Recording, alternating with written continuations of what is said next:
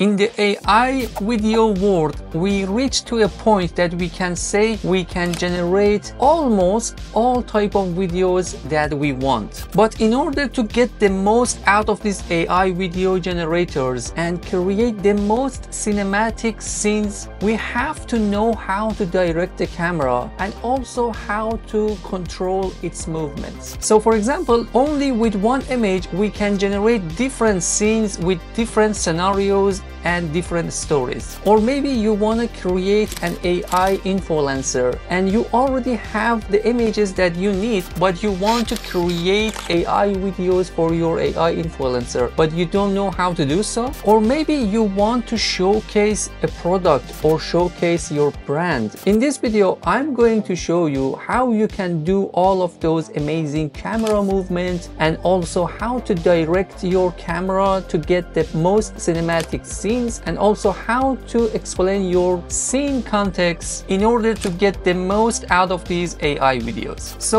let's start with simple ones. Posing in front of the camera is one of the simple prompts that you can use and it will always generate fantastic results like the videos that you are seeing now. Another simple prompt that we can use is how to make the camera perfectly still without any movement with the keyword fixed lens. By doing so, we can avoid any movement into the camera and we can focus on the object. However, sometimes this keyboard might not work. In these cases, you might use stationary camera or static camera and after a few try, you might get the result that you want. By the way, I generated all of these images with Leonardo AI and also after creating all of the images, I came to Kling AI and and in AI video, I pass the image here and I put the prompt into the prompt section. I also tend to set the creativity to 0.7. Uh, I'm always using the standard mode and 5 second duration and one video at a time. Next up is simple zoom in and zoom out. We can zoom in with the word camera zoom in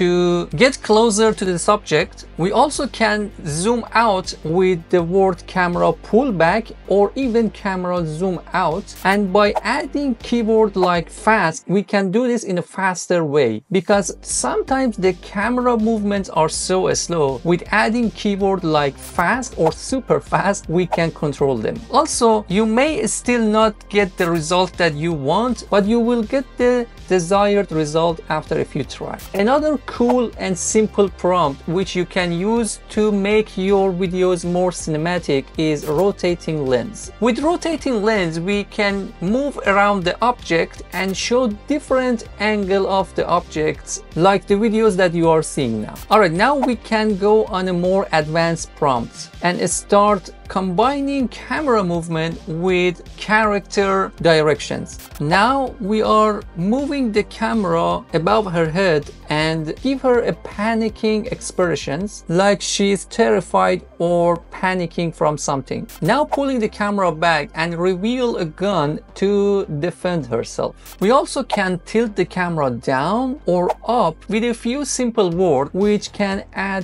cinematic effect into our videos. Another cool prompt that you can use is FPV which is stands for first person view. With this simple prompt you can have a first person view on your videos which is going to add a highly cinematic scene into your videos. We already covered a lot and with the prompt that we covered until now you already are more advanced than the most AI video users. But let's move even this further and see how we can combine the camera movement and add scene context. And by the way, if you are still watching, please consider to subscribe to the channel to see more tutorials like this. To make our movement more cinematic and more advanced, from now on we have to be more descriptive in our prompt. For example, in this video, I use the prompt camera flies above to a bird's eye view of the tree. Here is another image with the exact prompt. Do you see the problem? Yeah, sometimes you may lose the color consistency. So in these situations, we might use another keyword and the keyword is muted color. So with passing muted color, we can tell the AI have a more consistent color color and don't change the color at all. Another way to be more specific and more descriptive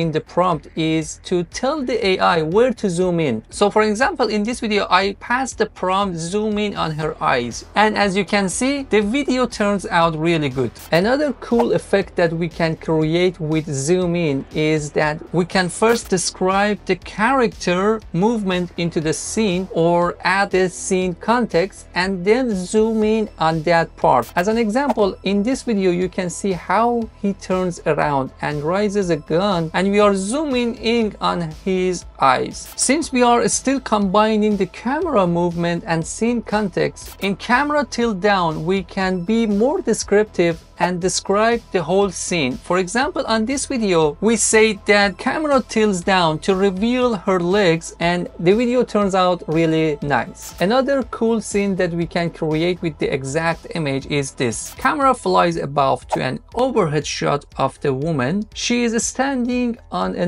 known geometric pattern muted color for having a consistent color saturation. Alright, now on this video, we say the camera pull back and tilts up to reveal a giant UFO glowing with electricity in the sky. So as you can see, as more descriptive we are going to get, uh, we can have more complex scenes with more movement with adding more subject into the scene. Now with the exact image, we have the camera pull back and then pans to follow him walking towards a motorcycle. As it turns out, the motorcycle is really cool. Alright, with the exact image, we can say the camera pull back and tracking shot of him walking towards low angle shot. So now we are doing the tracking shot with just adding a prompt of tracking shot of him walking towards. With the exact image, we can have the camera pull back and tracking shot of him walking towards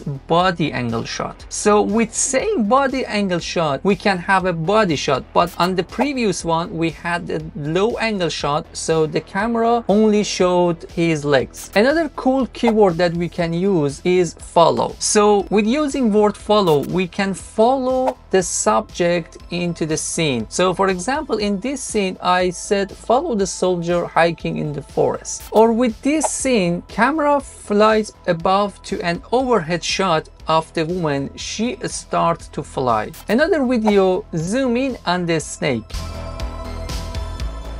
Now let's get more advanced tracking shot, she stands up and walk out of the pool. She is wearing orange leggings, muted color. It turns out a really good video. Now let's go under the water. So for example, follow her as she dives under the water. The camera moves underwater, muted color. As you already can see, we can also move the camera under the water with the word camera moves underwater. But AI isn't perfect yet check out these two videos. These are the exact prompt with a really cool image, but it turns out a really weird video. So one of the best advice that I can give you is to go and explore the community. In Kling AI or any other AI video generators, there are always some community which other users share their videos. So let's check out these videos. So for example, in Kling AI, there is an explore tab and we can come here and explore all of this video. From here, I can choose video. I can come down and see all of these amazing videos and see what prompt and what picture did they use, which AI model did they choose, and how did they create all of these amazing videos. So for example, let's check out this one. This is an image. The woman smiles slightly, turns around and walks towards the castle along the path. So as you can see, the AI followed all the prompts. Another cool video. So the creator already had an image and he passed a fashion show at runway slow motion. The video turns out really cool. So as you can see, this video also has a reference image, but no prompt. We can cannot see any prompt here. So AI did the creativity itself and came up with this video. Here is another cool video which has a reference image and is a close-up shot